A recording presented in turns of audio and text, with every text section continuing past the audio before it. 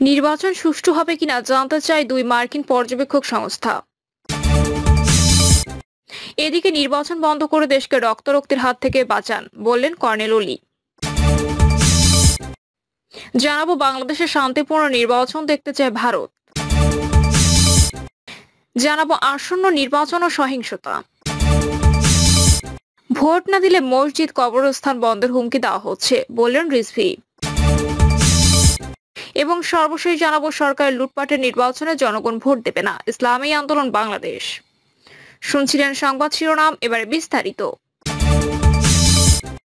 নির্বাচন সুষ্ঠু হবে কিনা জানতে চায় দুই মার্কিন পর্যবেক্ষক সংস্থা।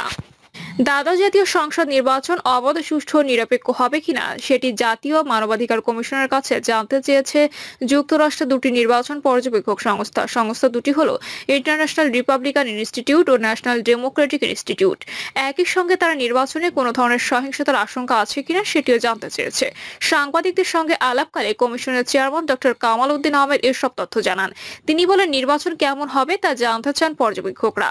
তারা জানতে চেয়েছে আসন্ন নির্বাচন অবাধ সুষ্ঠু, নিরপেক্ষ হবে কিনা, আমরাও চাই নির্বাচন অবাধ হোক।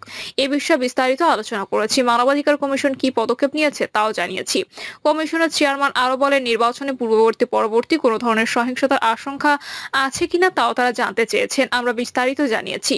তারা নির্বাচন পরবর্তী অবস্থায় পর্যবেক্ষণ করবে। একটি সহিংসতাপূর্ণ নির্বাচন সবার কাছেই চিন্তার বিষয়।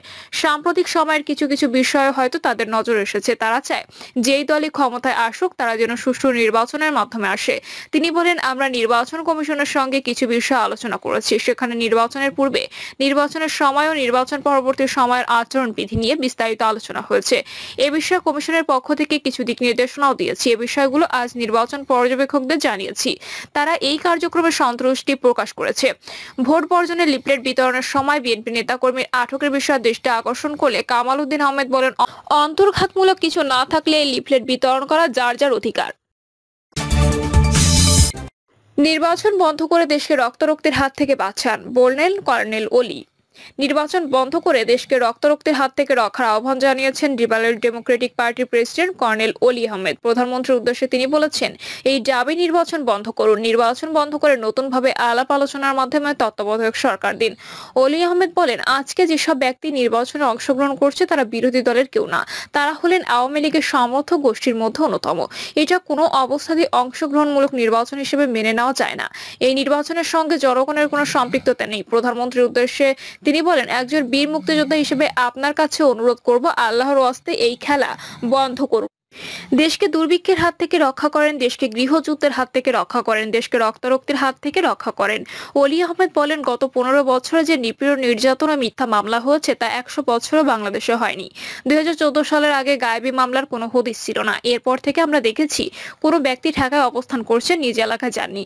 কিন্তু এলাকাতে গায়েবী মামলার আসামি। এছাড়া প্রত্যেকটি মামলাতে বলা হয়, অজ্ঞাতনামা আরও একশো জন। সুতরাং যাকে যখন যেখানে পায় তাকে ঢুকে দেওয়া হয়।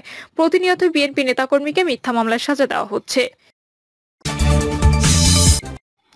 বাংলাদেশের শান্তিপূর্ণ নির্বাচন দেখতে চায় ভারত। বাংলাদেশের আসন্ন নির্বাচনকে এদেশের অভ্যন্তরীণ বিষয় উল্লেখ করে ভারতের পররাষ্ট্র মন্ত্রণালয়ের মুখপাত্র অরিন্দম বাগচি বলেছেন, বাংলাদেশের জনগণ ভোটের মাধ্যমে তাদের নিজেদের ভবিষ্যৎ নির্ধারণ করবে।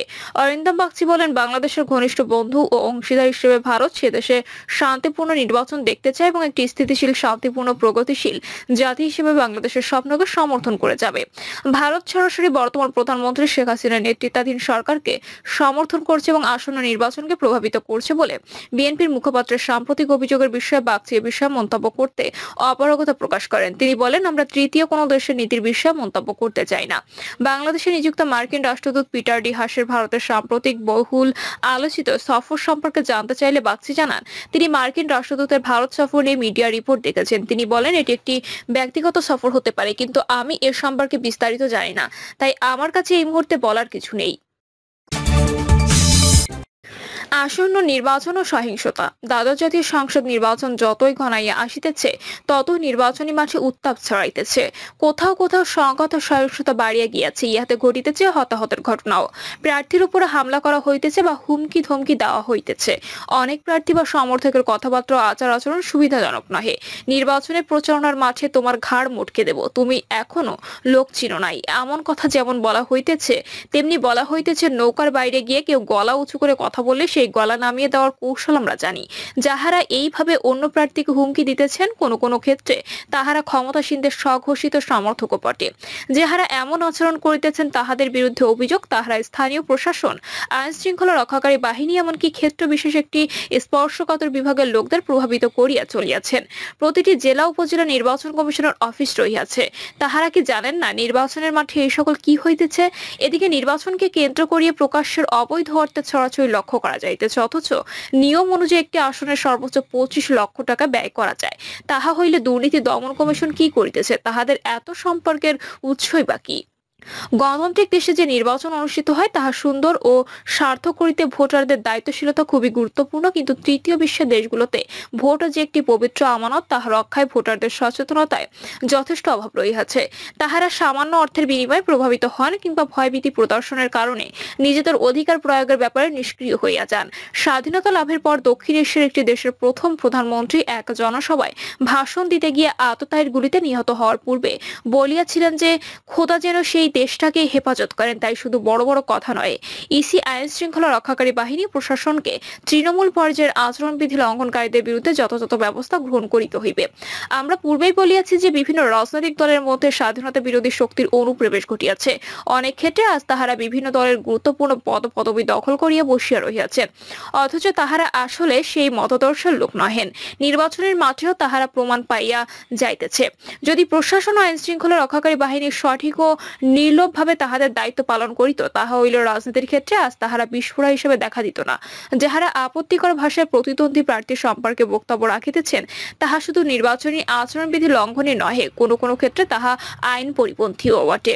হয় এই সকল অপপ্রচার, অশ্রাব্য, গালিগালাজ ও মাত্রাতিরিক্ত অপ্রীতিকর ঘটনা নিয়ন্ত্রণ করিতে হইবে, নতুবা ইহার পরিণতি কি হইবে তাহা ভুলিয়া গেলে চলিবে না।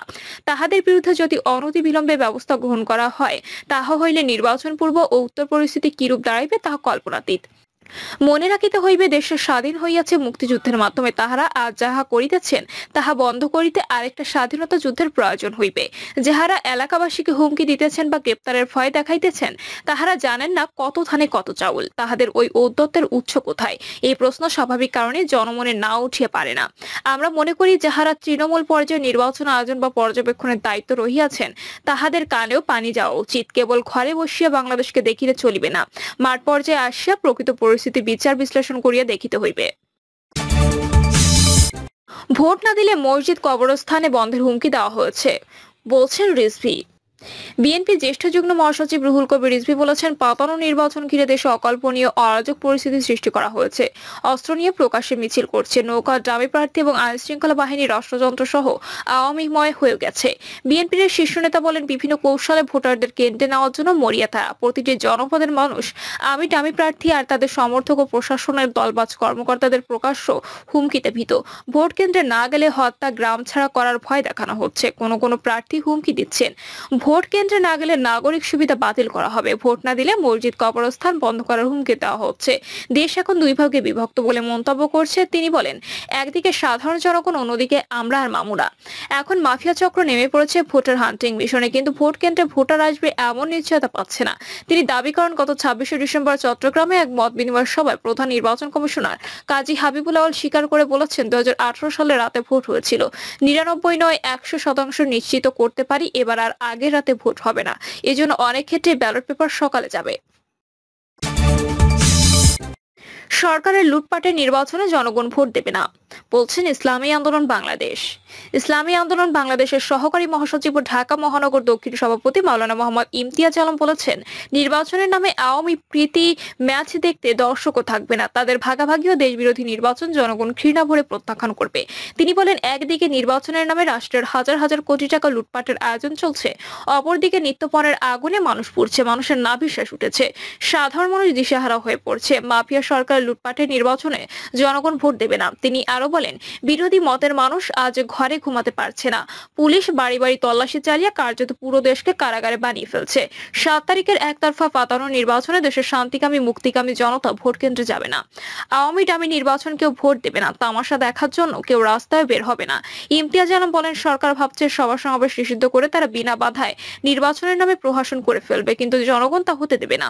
যে কোনো ত্যাগের বিনিময়ে হলেও জনগণ সাত তারিখে নির্বাচন প্রতিহত করবে। মামলা হামলার পুলিশ দিয়ে জনতাকে দাবিয়ে রাখা সম্ভব নয়। তিনি বলেন, সরকার ধোকাবাজি নির্বাচন করছে, নৌকার প্রার্থী, স্বতন্ত্র প্রার্থী ডামি প্রার্থী, সবই আওয়ামী লীগ। এভাবে ডামি নির্বাচন নিয়ে বিশ্ববাসীকে সরকার ধোকা দিচ্ছে। নির্বাচন নির্বাচন খেলা বন্ধ করুন। দেশের অধিকাংশ রাজনৈতিক দল, অধিকাংশ মানুষ সরকারের প্রশাসনের নির্বাচন মানে না। তারা এই নির্বাচন চায় না। আমরাও এই প্রশাসনের নির্বাচন চাই না। আমরা একটি সুষ্ঠু, নিরপেক্ষ এবং অংশগ্রহণমূলক নির্বাচন চাই। যে নির্বাচনের মাধ্যমে জনগণের ভোটাধিকার প্রতিষ্ঠা হবে, মানুষ ভাত ভোটের অধিকার ফিরে পাবে। প্রিয় দর্শক, এই ছিল এখনকার সর্বশেষ সংবাদ। আপডেট সব সংবাদ পেতে চ্যানেলটি সাবস্ক্রাইব করে বেল আইকনটি ক্লিক করে রাখুন।